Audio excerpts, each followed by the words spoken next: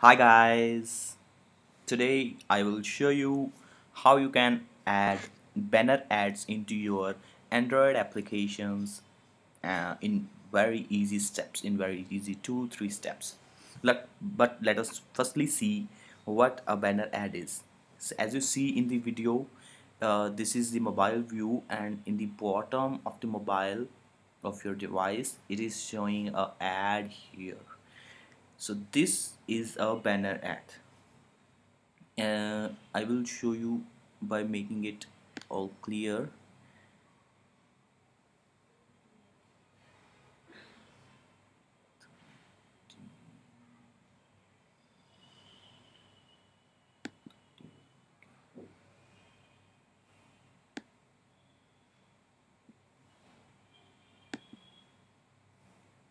Now as you see in the video uh, this is your mobile and uh, here in below you are looking a banner ad. So now let us see how to add a banner ad. It is very easy to adding a banner ad. Your first step is you need to create a new project. Go to file and go to new and make a new project now open your manifest file. In manifest file just above the application tag add two permissions android permission internet and android access network because these ads will be using the internet so we need the permission for the internet. Now your next step is to go into your layout and open the layout. In your layout you have to add a tag com google android dot gms dot ads ads dot ad view. This is your tag you have to add and uh, ad size is banner.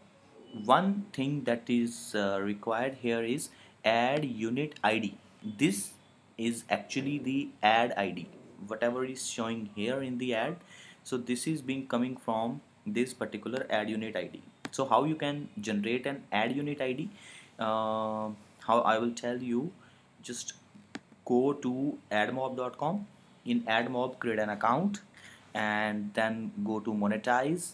Now monet create on, uh, click on monetize new application add a new application and click on that application. Here you will see a new ad unit. Go to ad unit. Yes you want a banner ad now everything is okay. So you just choose any name abcd something something or click on save. When you click on save you will get a ad unit id just copy this id and you can place it here only or I have just put it into the strings. Here ad unit id now uh, you have added a layout. So it's here. Now you go to your main activity. In main activity you have to use ad view this class.